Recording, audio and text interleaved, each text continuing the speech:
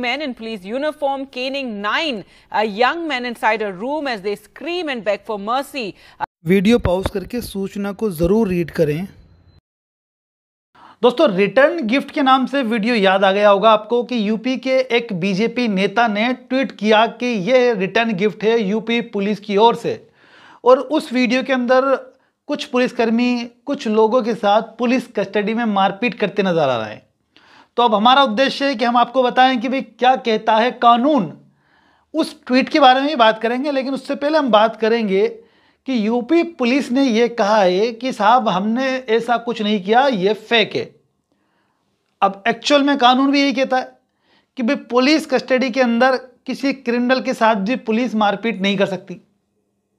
अगर मारपीट करती है तो ऐसे व्यक्ति के खिलाफ संबंधित आईपीसी की धाराओं के तहत मामला दर्ज किया सकता है, चाहे वो कितना ही बड़ा पुलिस ऑफिसर हो। अगर किसी व्यक्ति के साथ ऐसा होता है तो उस व्यक्ति को कोर्ट में जैसे ही पेश करते हैं मजिस्ट्रेट साहब को शिकायत कर देना चाहिए मारपीट की। या अगर आपको जेल में भेज दिया गया है, जेल में मारपीट की गई है तो अपने वकील के माध्यम से एप्लीकेशन लगा करके शिकायत कर सकते हैं। कोर्ट के द्वारा मामला दर्ज कर सकते हैं। किसी फैमिली मेंबर को थाने पर भेज के एफ़ दर्ज कर सकते हैं। नहीं हो रही है तो कोर्ट से हो ही जाएगी आपकी एफ़ दर्ज। ये तो सिंपल सी बात है। लेकिन दोस्तों, एक बीजेपी के नेता ने ट्वीट करके कहा है कि साहब, ये रिटर्न गिफ्ट है। अगर कोई व्यक्ति किसी फेक इंफॉर्मेशन को फेक रिपोर्ट को फेक न्यूज़ को फेक रूमर को पब्लिक में इस तरह से भेज रहा है और उसका एलिगेशन किस पे? एक तरीके से पुलिस के ऊपर। पुलिस की छवि को यहाँ पे ख़राब करने की कोशिश की जा रही है। बीजेपी नेता के द्वारा। और पुलिस कहती है कि साहब, ये फेक है। तो क्या कहता है कानून? अगर कोई इस तरीके का फेक रूमर फैला रहे हो तो सुप्रीम कोर्ट का जजमेंट भी इसके ऊपर। और कानून आईपीसी की धारा 505 का बी और सी में यह भी बताया गया है कि ऐसे व्यक्ति के खिलाफ जो रूमर फैला रहा है, कानूनी कार्रवाई की जाएगी, जिसमें ऐसे व्यक्ति को तीन साल तक की सजा हो सकती है।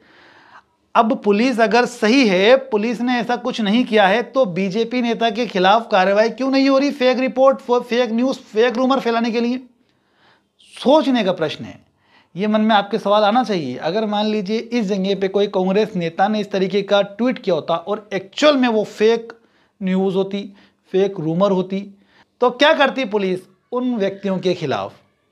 ये आपसे पूछ रहा हूँ मैं। मेरा अनुमान तो वहीं जा रहा है। मुझे लगता है आपका ही वहीं जा रहा होगा।